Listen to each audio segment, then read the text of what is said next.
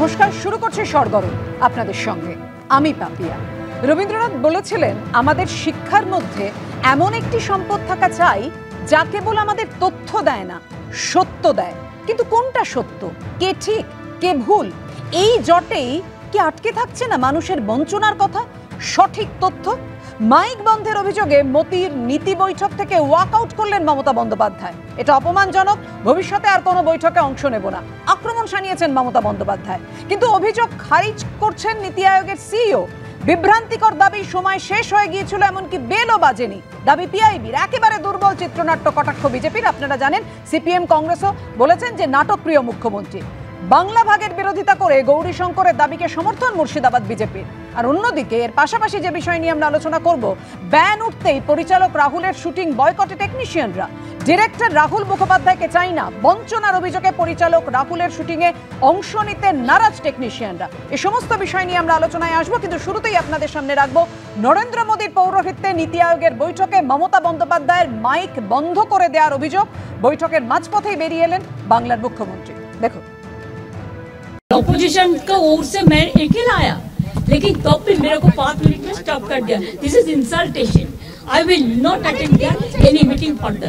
The Chief Minister of West Bengal had made a request before lunchtime. Normally, we would have gone alphabetically. Every Chief Minister is allotted seven minutes. The Raksha Mantri just does that on his table. Her Chief Secretary continued to attend. She is now um, uh, conveyed that her mic was put off. That is completely false. It was scripted. Kolkata থেকে আসার আগে তার script তৈরি। এবং সেই script অনুযায়ী অর্থাৎ এটা আগে থেকে তার তৈরি করা কতগুলো নাটকের দৃশ্য। বিরোধীদের জোট ইন্ডিয়ার একমাত্র মুখ্যমন্ত্রী হিসাবে যোগ দিয়েছিলেন নরেন্দ্র মোদীর পৌরোহিত্যে নীতি আয়োগের বৈঠকে। সেখানেই মমতা বন্দ্যোপাধ্যায়ের মাইক বন্ধ করে দেওয়ার অভিযোগ উঠল। তারপরই বৈঠকের মাঝপথে বেরিয়ে এলেন বাংলার মুখ্যমন্ত্রী। শুক্রবার মমতা বন্দ্যোপাধ্যায় বলেছিলেন, তিনি ছাড়াও নীতি আয়োগের বৈঠকে থাকবেন ঝাড়খণ্ডের মুখ্যমন্ত্রী হেমন্ত সোরেন। যদিও এদিনের বৈঠকে হেমন্ত সোরেন আসেননি। বিরোধীদের জোট ইন্ডিয়ার বাকি মুখ্যমন্ত্রীরাও বৈঠক বয়কট করেন। বিরোধীদের মধ্যে একমাত্র হাজির হন মমতা বন্দ্যোপাধ্যায়। কিন্তু বৈঠকে যোগ দিলেও মাঝপথে বেরিয়ে এসে বিস্ফোরক অভিযোগ করেন তিনি।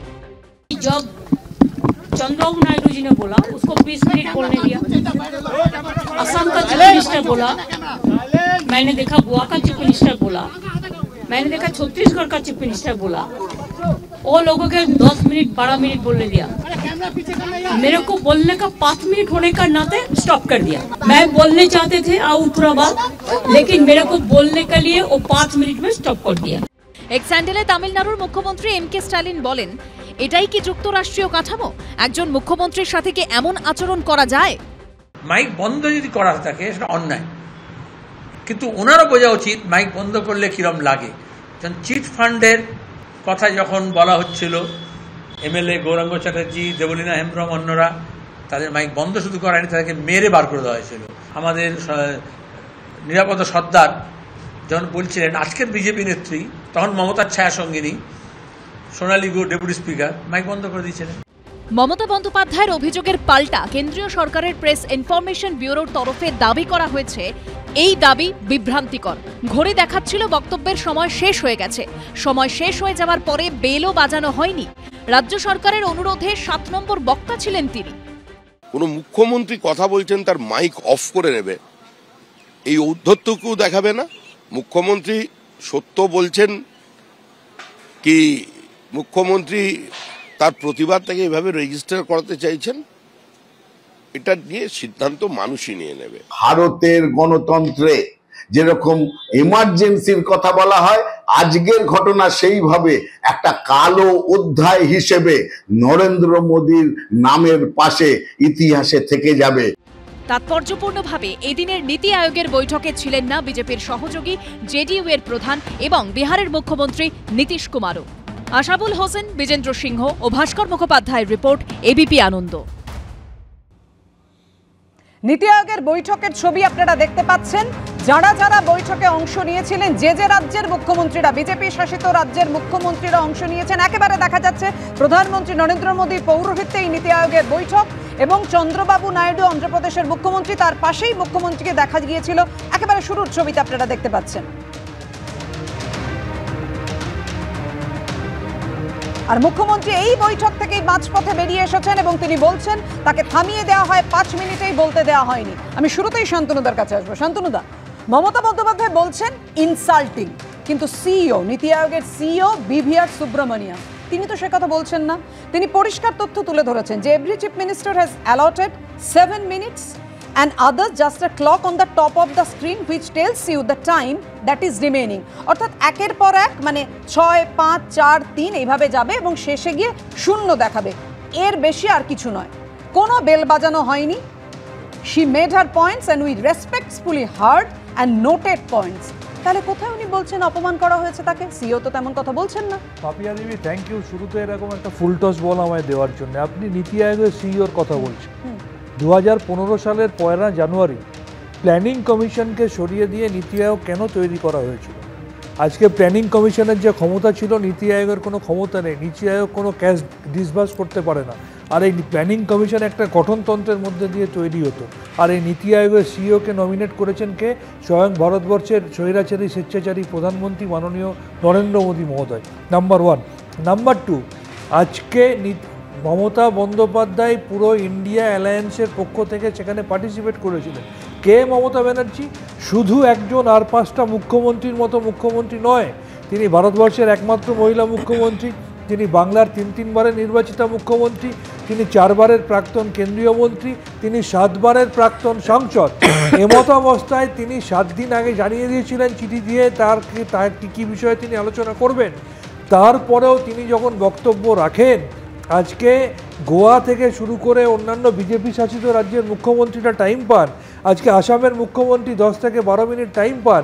সেখানে মুখ্যমন্ত্রী মমতা বন্দ্যোপাধ্যায় তিনি নিজে বলেছেন যে, আমাকে পাঁচ থেকে সাত মিনিট বলার টাইম বলা হয়েছিল। তাহলে পাঁচ মিনিটের মধ্যে কেন বেল বাজানো শুরু হয়ে গেছে? কেন তাকে বারবার ডিস্টার্ব করা হলো? বিরোধীদের কণ্ঠ শোনা যাবে না বলে? আজকে parliamentary floor is for the opposition সেটা পার্লামেন্টে ভারতবর্ষের মোদী সরকার মানে না। কিন্তু তাকে তো সবার আগে খাতির করে বলতে দেওয়া উচিত ছিল যে সমস্ত ইন্ডিয়া অ্যালায়েন্সের পক্ষ থেকে একমাত্র তিনি প্রতিনিধিত্ব করতে গেছেন। সে জায়গায় খাতির করা দূরের কথা। পার্লামেন্টারি ডেমোক্রেসি এবং কোঅপারেটিভ ফেডারালিজমকে কণ্ঠ রোধ করে দিয়ে বিরোধীদের কথা শুনবে না বলে, বাজেটের বঞ্চনার প্রতিবাদের কথা তাদের গাত্রদাহের কারণ হয়ে যাবে বলে তারা গায়ের জোরে মুখ্যমন্ত্রী মমতা বন্দ্যোপাধ্যায়কে এইভাবে একটু বিরত করছি আপনাকে। আপনি বলছেন যে একেবারে গণতন্ত্রের কণ্ঠ রোধ করা হয়েছে। এই অভিযোগই তো এ রাজ্যে করেন বিরোধীরা। তাদেরকে আদালত পর্যন্ত ছুটে যেতে হয় বলতে দেওয়ার জন্য। তারা বলতে বল- বলার সুযোগ পান না তাদেরকে মাঝপথে থামিয়ে দেওয়া হয় এমনকি বলতে পারেন না। আমরা অবশ্যই এই বিষয় নিয়ে আসব। আপনার রিয়াকশন নেব। তার আগে আমি অভ্রর কাছে আসব। অভ্র আজকে অবশ্যই সিও যেটা এটাও বলেছেন যে চিফ সেক্স এখানে উপ- উপস্থিত ছিলেন কিন্তু মমতা বন্দ্যোপাধ্যায় তারা ছিল বিমান ধরা তিনি কলকাতায় ফেরার তাই তিনি বেরিয়ে গিয়েছিলেন। কিন্তু প্রশ্নটা হচ্ছে মুখ্যমন্ত্রী মমতা বন্দ্যোপাধ্যায় বলছেন শাক দিয়ে মাছ ঢাকার চেষ্টা করা হচ্ছে। মানে এমন কি তথ্য যেটা পুরো ঢাকার চেষ্টা করা হচ্ছে? বিরোধীদের তরফে একমাত্র তিনিই তো ছিলেন পৌরোহিত্য করেছেন এই বৈঠকে উপস্থিত ছিলেন। সুতরাং কেন্দ্রের তো তারিফ করার কথা ছিল। পাপিয়াদি আপনারা। পাপিয়াদি আপনারা বিতর্কের শুরু তো কেন রবীন্দ্রনাথের কোট দিয়ে শুরু করেন বলুন? আমাদের বাংলার বুকে সেরা নাট্যকার বা সেরা লেখিকা তো মমতা বন্দ্যোপাধ্যায়।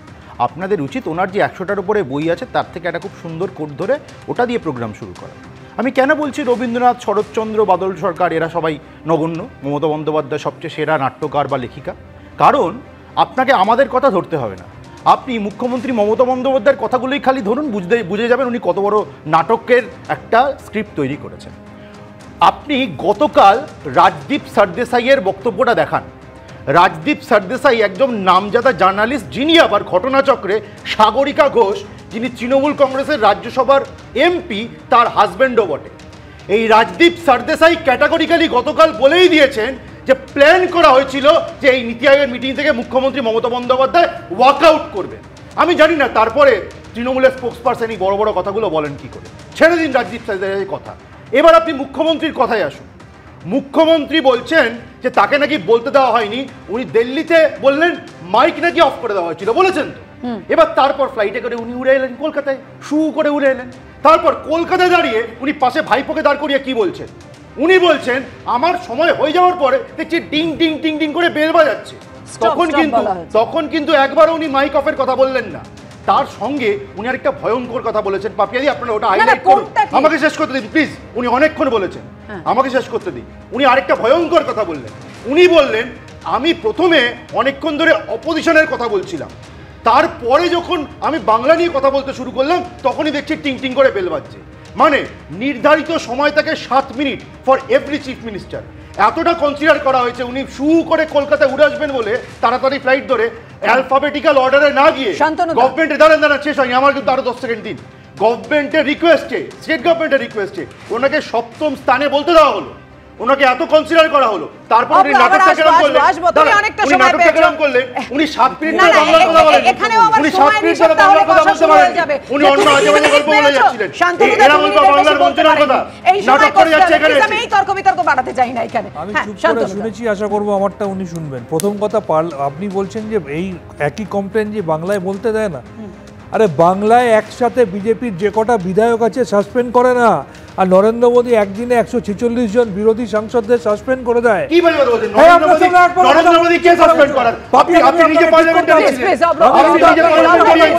নরেন্দ্র মোদী? কথা- সাসপেন্ড সাসপেন্ড বলেছে আপনি। বলুন কোন আইনে কোন আইনে প্রাইম মিনিস্টার কাউকে সাসপেন্ড করতে পারে ঠিক করুন, উনি তাহলে আপনি মিথ্যা কথা বলছেন কেন? পুরো সব আপনি আইনটা বলুন আপনি আইনটা বলুন আপনি আইনটা বলুন আপনি তর্ক বিতর্ক তর্ক এই- এইভাবে আলোচনা গড়ালে সঠিক সত্যতা আসবে না। তাহলে মিথ্যা কথা বলছেন। তাহলে আপনি মিথ্যা কথা বলছেন। আপনাকে আমি আপনি মিথ্যা কথা বলছেন আপনি চুপ করুন। আপনি তো পার্লামেন্টারিয়ান ছিলেন উইথ ডিউ রেসপেক্ট আপনি সঠিক আইনটা বলুন। আপনি ঠিক করুন আপনি সঠিক আইনটা বলুন। একের পর এক মিথ্যাচার করে যাবেন কালকে থেকে এই মিথ্যাচার তর্ক বিতর্ক চলতেই পারে কিন্তু একে যদি অন্যের সময় বলেন তাহলে আপনাদের কথাই শুনতে পাবেন না দর্শকরা। নীতি আয়োগের বৈঠকে প্রধানমন্ত্রীর সামনেই কেন্দ্রীয় সরকারের বিরুদ্ধে বঞ্চনার অভিযোগে সরব হয়েছেন মমতা বন্দ্যোপাধ্যায়। মাইক বন্ধ করে দেওয়ার অভিযোগ শুধু নয় তিনি বলছেন যে বাংলার নয় সব আঞ্চলিক দলের অপমান। কি বলেছেন তিনি? দেখুন। আপনাদের এই বঞ্চনা আমি মানি না। তাই মনে রাখবেন আমি চললাম। সব রিজিওনাল পার্টি কা ইনসাল্ট है She left because she had to catch a flight to uh, Calcutta. She said that she had an assembly session. If somebody doesn't want to use Niti Ayog, that's their choice. দু হাজার বাইশে বৈঠকে যোগ দিয়েছিলেন। দু হাজার তেইশে যাননি। আর দু হাজার চব্বিশে বেরিয়ে এলেন মাঝপথেই। মাইক বন্ধ করে দেওয়ার অভিযোগে নীতি আয়োগের বৈঠক থেকে ওয়াকআউট করলেন মমতা বন্দ্যোপাধ্যায়। নীতি আয়োগের বৈঠকে প্রধানমন্ত্রীর সামনেই সরব হলেন কেন্দ্রীয় সরকারের বিরুদ্ধে বঞ্চনার অভিযোগ তুলে। লক্ষ্য দু সাতচল্লিশে বিকশিত ভারত। কেন্দ্র রাজ্য সমন্বয়ে দেশকে এগিয়ে নিয়ে যাওয়ার লক্ষ্যই ছিল এবারের নীতি আয়োগের বৈঠকের মূল এজেন্ডা। একমাত্র বিজেপি বিরোধী শাসিত রাজ্যের মুখ্যমন্ত্রী হিসেবে উপস্থিত ছিলেন মমতা বন্দ্যোপাধ্যায়। শনিবার প্রধানমন্ত্রীর সভাপতিত্বে হওয়া নীতি আয়োগের বৈঠকে যোগ দিতে সকাল নটা চল্লিশ মিনিটে রাষ্ট্রপতি ভবনে পৌঁছে যান মমতা বন্দ্যোপাধ্যায়। সূত্রের দাবি, এগারোটা পঞ্চান্ন মিনিট নাগাদ বক্তব্য রাখার সুযোগ আসে বাংলার মুখ্যমন্ত্রীর। একশো দিনের কাজের টাকা কেন্দ্রীয় সরকার তিন বছর ধরে বন্ধ রেখেছে সেই অভিযোগের পাশাপাশি কেন্দ্রীয় বাজেটে বাংলা সহ অবিজেপি রাজ্যগুলিকে বঞ্চনার অভিযোগে সরব হন তিনি। মমতা বন্দ্যোপাধ্যায়ের অভিযোগ ঠিক এই সময় তার মাইক বন্ধ করে দেওয়া হয়। এতে তিনি অসম্মানিত হয়েছেন বলে জানিয়ে রাজনৈতিক পক্ষপাতিত্বের অভিযোগে সরব হয়ে বারোটা পাঁচ মিনিট নাগাদ নীতি আয়োগের বৈঠক থেকে ওয়াকআউট করেন মমতা বন্দ্যোপাধ্যায়। আপনারা বাংলার সমস্ত উন্নয়নের প্রজেক্ট বন্ধ করে দিয়েছেন। আপনারা বিরোধী দলের কোনো রাজ্যকে কোনো সুযোগ দেন না। এবং আপনারা আমাদের তিন বছর ধরে একশো দিনের কাজ বন্ধ। প্রধানমন্ত্রী আবাস যোজনা বন্ধ।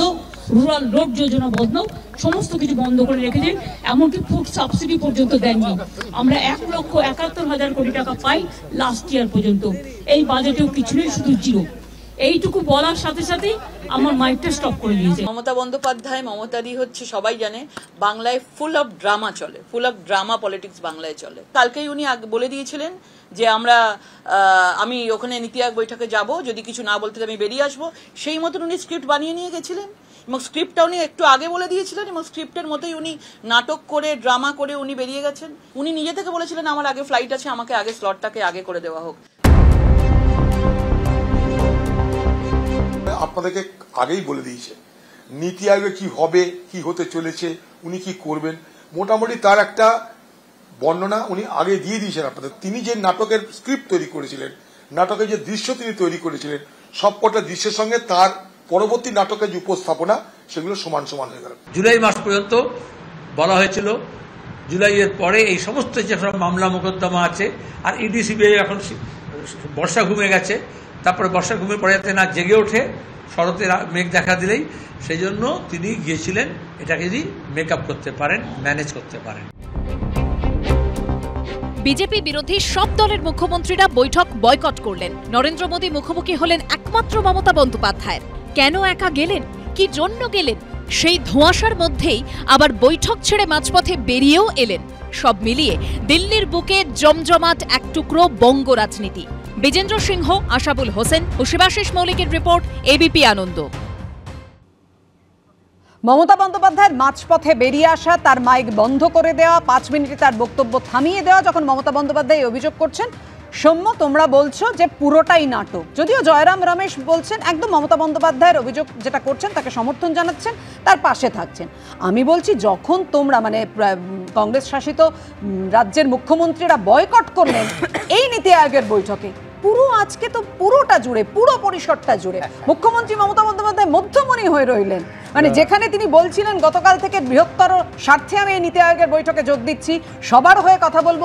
একদম তাই তো হয়ে আমি প্রথমেই বলে আমি স্ট্রংলি কন্ডেম মানে এটা আমি বিরোধিতা করছি আমি কন্ডেম করছি যে মাননীয় মুখ্যমন্ত্রী পশ্চিমবাংলার মুখ্যমন্ত্রী তাকে কেউ দায়িত্ব দেয়নি ইন্ডিয়া জোটের হয়ে প্রতিনিধিত্ব কেউ দায়িত্ব উনি ওনার রাজ্যের জন্য গেছেন ওনার মনে হয়েছে গেছেন। আমার কথা হচ্ছে প্রথম প্রধান প্রধান কথা হচ্ছে ইন্ডিয়া জোটের রাজ্য তো তোমার তুমি না নিশ্চয় আমি বলছি আমি বলছি আমাকে বলতে দিন। এই রাজ্যে নয় সারা ভারতবর্ষের সমস্ত রাজ্য কংগ্রেস শাসিত রাজ্য সহ বিরোধী যারা যে সমস্ত দল আছেন তাদের শাসিত রাজ্যগুলোকে বঞ্চনা করা হয়েছে। কার্যত অ্যাব্রাপলি বঞ্চনা করেছেন সবাইকে বঞ্চনা করেছেন তারা জাননি। মুখ্যমন্ত্রী মনে করেছেন কি বার্তা দিতে চেয়েছেন? আমি আছি তোমাদের সঙ্গে আছি।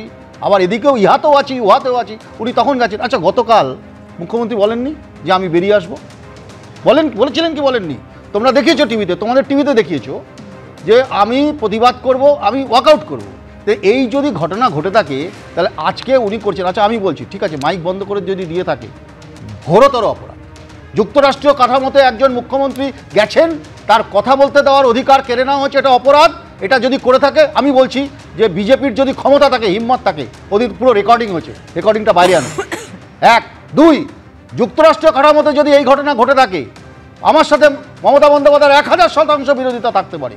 কিন্তু বাংলার দাবি দাবা নিয়ে উনি গেছেন, আমি বলছি, তাহলে আপনি যদি গিয়ে থাকেন, আপনার যদি এটা সত্যি ঘটনা থাকেন, চলুন আদালতে। আপনি রাজ্যপালের বিরুদ্ধে আদালতে যেতে পারেন। আপনি যে কোনো কারণের দুর্নীতি, চুরির বিরুদ্ধে আপনি আদালতে যেতে পারেন। আপনার দল যেতে পারে। আপনি আদালতের কেস করুন। যুক্তরাষ্ট্রীয় কাঠামোকে আঘাত করেছে নীতিগতভাবে সাংবিধানিকভাবে করতে পারে না আপনি ধর্নায় মানে বসুন। এই- এই নীতির কথাটা যখন সৌম্য বলছে না। আবার এইখানেও তো প্রশ্নটা আসবে যখন যখন অন্য কেউ নয় জয়রাম রমেশ তার তো ডেজিগনেশন আছে। তিনি কংগ্রেসের সর্বভারতীয় সাধারণ সম্পাদক। তিনি যখন মমতা বন্দ্যোপাধ্যায়ের পাশে দাঁড়াচ্ছেন তখন আবার যখন অধীর রঞ্জন চৌধুরী বা তোমরা মানে প্রদেশ কংগ্রেসের নেতারা বলছো যে আদালত আছে শুধু মানুষের সামনে কেন বলছেন? না আমি বলছি, তাহলে প্রদেশ কংগ্রেস আবার সর্বভারতীয় কংগ্রেসের এই আমি আমি ফারাকটা তো একেবারে সামনে চলে আসছে, তাই না? আমি জানি তো আপনি এই প্রশ্নটা করবেন তার কারণে করাটাই স্বাভাবিক। আমি প্রশ্ন থেকে কখনো এড়িয়ে যাই না। কিন্তু পশ্চিমবঙ্গ থেকে সতেরোশো কিলোমিটার দূরে জয়রাম রমেশ থাকে। আমরা ওনাকে খুব ভালো করে চিনি পশ্চিমবাংলায়। কেন উনি কালকে বলেছিলেন? আর এই যে কথাগুলো বলছেন আমার শ্রদ্ধেয় তৃণমূলের প্রতিনিধি যে ইন্ডিয়া ব্লকের হয়ে উনি বলতে গেছেন মুখ্যমন্ত্রী বললেন কে দায়িত্ব দিয়েছিল ইন্ডিয়া ব্লকের হয়ে বলতে দেওয়ার জন্য? ইন্ডিয়া ব্লক মুখ্যমন্ত্রীরা বয়কট করছে যে একটা সমস্ত কংগ্রেস শাসিত আপ তারপরে অন্যান্য রাজ্যের মুখ্যমন্ত্রীরা বয়কট করেছেন। উনি উনি গেছেন যান ওনার কথা বলুন। উনি ইন্ডিয়া কেন জানাচ্ছেন? জোটে আছি আবার বিজেপির মানে সঙ্গে ইহাতেও আছি ওহাতে আছি এটা কি? আপনার উত্তরটা আমি দিচ্ছি দুটো ধাপে দেব। আগে বিজেপির উত্তরটা আমায় দিতে হবে। মমতা বন্দ্যোপাধ্যায়কে নাট্যকার বলছে। আচ্ছা মমতা বন্দ্যোপাধ্যায়কে কোনোদিন দেখেছেন যে ধ্যান করছেন সেটা মিডিয়াতে আসছে? মমতা বন্দ্যোপাধ্যায়কে কোনো দিন দেখেছেন? কাজিরাঙাতে গিয়ে গন্ডার দেখছে হাতির পিঠে চেপে সেটা মিডিয়াতে আসছে। মমতা ব্যানার্জিকে কোনোদিন দেখেছেন? স্নরকেলিং করছে সেটা মিডিয়াতে আসছে। মমতা ব্যানার্জিকে কোনোদিন দেখেছেন? প্যারাশুটিং করছে সেটা মিডিয়াতে আসছে। মমতা ব্যানার্জিকে কোনোদিন দেখেছেন? নিজের নামে স্টেডিয়াম তৈরি করছে নিজের জীবদ্দশায় বা নিজের নামে মেডিকেল কলেজ তৈরি করছে? ভারতবর্ষে প্রচার সর্বস্ব সব থেকে বেশি বড় নাট্যকার যদি থেকে থাকেন সেটা আমাদের মাননীয় প্রধানমন্ত্রী ছাড়া কেউ নয়। নাম্বার ওয়ান নাম্বার টু এবারে আবার বলি সৌম্যবাবু প্রমাণ করে দিলেন। তিনি জাতীয় কংগ্রেসের প্রতিনিধি নন তিনি বিজেপির তল্পিবাহককারী অধীর চৌধুরীর নেতৃত্বাধীন বাংলার কংগ্রেসের প্রতিনিধি সেই কারণে জয়রাম রমেশ যখন তিরস্কার করছে অধীর চৌধুরীকে অতীতে যখন আমরা দেখেছি মল্লিকার্জুন খার্গে থেকে শুরু করে পবন খেরা তারা। অধীর না, বিরোধিতা করেছে। বিজেপিকে অক্সিজেন দেওয়ার শেষ হয়ে জন্যে গেলে বলি। সিপিএম এর সাথে হাত মিলিয়ে। আবার আমাকে just one liner one liner কাছে নিতে হবে যে ওনাকে তিনটে প্রশ্ন করেছিলাম আমি। একটারও উত্তর দিলেন না। একটার উত্তর দিলেন আপনি বলুন কেন আদালতে যাচ্ছেন না? আপনি বলুন যে বিজেপি ক্ষমতা থাকলে প্রকাশ করুক ভিডিও প্রকাশ করুক আর আপনি ক্ষমতা থাকলে আদালতে যান ধর্নায় বসুন। দেখি কত বড় ক্ষমতা আছে করুন তৃণমূলের থেকে বড় নাটকবাজ দল হয় না। একটু সংশোধন করে বললাম। হিমন্ত বিশ্ব শর্মা আসামের সিএম উনি পরিষ্কার টুইট করে বলে দিয়েছেন নির্ধারিত সাত মিনিট সময়ের থেকে মাত্র তিরিশ সেকেন্ড বেশি উনি কথা বলেছেন। আর এখানে দাঁড়িয়ে বাংলার শ্রেষ্ঠ নাট্যকার শ্রীমতী মমতা বন্দ্যোপাধ্যায় একের পর একটা চিত্রনাট্য লিখে যাচ্ছেন সেটা কতটা উইক সেটা বোধ আমাকে আর আলাদা করে বুঝিয়ে দিতে হবে না। বাংলার মানুষ এবার নিজেরাই ঠিক করুন। মোহনা দিদি একটা কথা বলুন। নীতি আয়োগের বৈঠকে প্রত্যেক রাজ্য তাদের যা যা না পাওয়ার কথা, যা যা পাওয়ার কথা তাই নিয়ে আলোচনা হবে সেটাই জানাবেন, খুব স্বাভাবিক। আমি বলছি, সেই কথাগুলো কি আদৌ কতটা সামনে এলো? মানুষের কথা, জনগণের কথা, জনগণের স্বার্থ নিয়ে কথা, সেটা কতটা সামনে এলো? এই তুতু ম্যামের থেকে আটকে থাকল না? রাজনৈতিক তরজায় মানুষের কথা হারিয়ে যাচ্ছে, মানুষের উন্নয়নের কথা হারিয়ে যাচ্ছে। মাননীয় মুখ্যমন্ত্রী রাজ্যের জন্য যদি গিয়ে থাকেন, দাবি করে থাকেন, সেটা যথার্থ এবং তার মাইক যদি বন্ধ করে দেওয়া হয়, অত্যন্ত অন্যায়, বিষয়ে সন্দেহ নেই।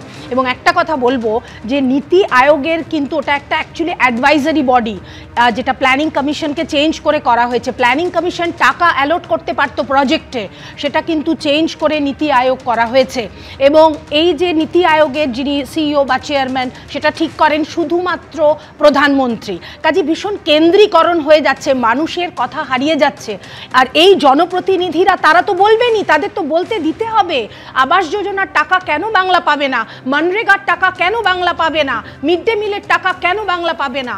এবং শুধুমাত্র দেখা যাচ্ছে রাজনীতিকরণ। অর্থাৎ বিজেপি বাংলা থেকে ভালো ফল করেনি, কাজেই তাদের বলতে দেওয়া হবে না। উন্নয়নের কথা কিন্তু প্রধানমন্ত্রী এবং কেন্দ্রীয় দল যারা, তাদের সবার কথা ভাবা উচিত। কয়েকটা রাজ্য নয়, এই জিনিসটা বড্ড হারিয়ে যাচ্ছে। মানুষের উন্নয়নের কথা হারিয়ে যাচ্ছে, এটা অত্যন্ত দুর্ভাগ্যজনক। আমি কনিনিকাদির কাছে আসব কনিনিকাদি মুখ্যমন্ত্রী মমতা বন্দ্যোপাধ্যায়কে বলতে দেওয়া হয়নি, পাঁচ মিনিট তিরিশ সেকেন্ড বলতে চাইছিলেন, এবং আজকে হিমন্ত বিশ্ব শর্মা, যে কথা উনি বারবার বলছিলেন যে অন্যান্য রাজ্যের মুখ্যমন্ত্রীরা, বিজেপি শাসিত রাজ্যের মুখ্যমন্ত্রীরা, তারা বলতে সময় পেয়েছেন, কেউ কেউ দশ মিনিটও বলেছেন, তিনি অন্ধ্রপ্রদেশের মুখ্যমন্ত্রীর কথা বলেছেন। কিন্তু হিমন্ত বিশ্ব শর্মা, যা টুইট আপনাদের সামনে রেখেছি, তিনি বলেছেন যে তিনি সাত মিনিট তিরিশ সেকেন্ড বলেছেন। হ্যাঁ ঠিক আছে। হিমন্ত বিশ্ব শর্মা যা বলেছেন যদি সেটা সত্যি হয় ঠিক আছে।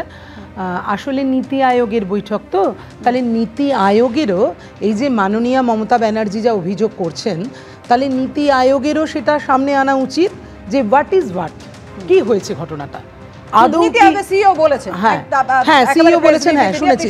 হ্যাঁ শুনেছি শুনেছি সেটা এমনি শুনেছি। আদৌ কি সত্যি ঘটনা তাই? মাননীয়া মমতা ব্যানার্জি যা বলেছেন। মমতা ব্যানার্জি গতকালই বলেছিলেন, আমি জাস্ট যাচ্ছি। তাহলে ওই জাস্ট যাওয়ার জন্য কেন গেছেন?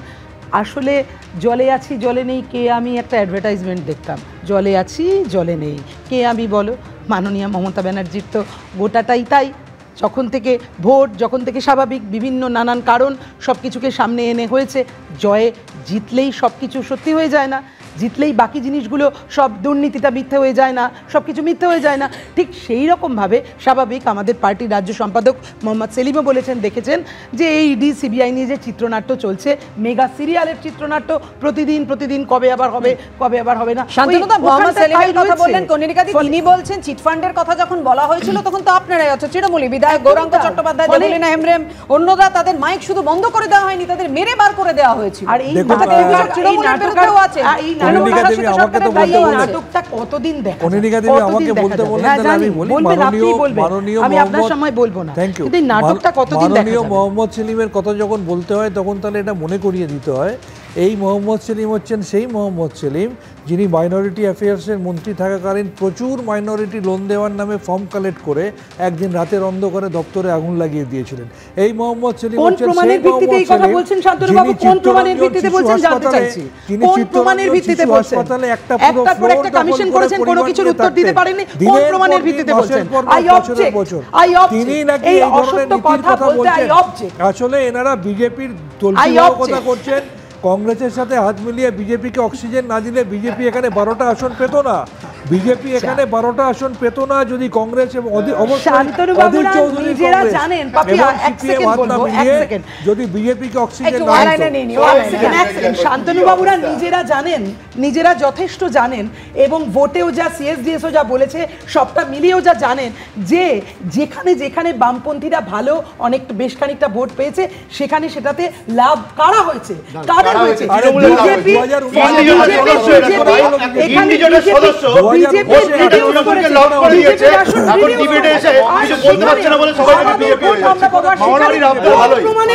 একদম আপনি বলছিলেন সৌম্যদাও বলছিলেন কিন্তু প্রশ্নটা উঠছে যে রাজ- রাজনীতিতে এই লাভ ক্ষতির হিসেব নয় আপনারা কষে নেন। একেবারে পাটিগণিতের হিসেবে। কিন্তু মানুষের লাভ ক্ষতির হিসেবটা আদৌ কি রাজনৈতিক দলের প্রতিনিধিদের মাথায় থাকে?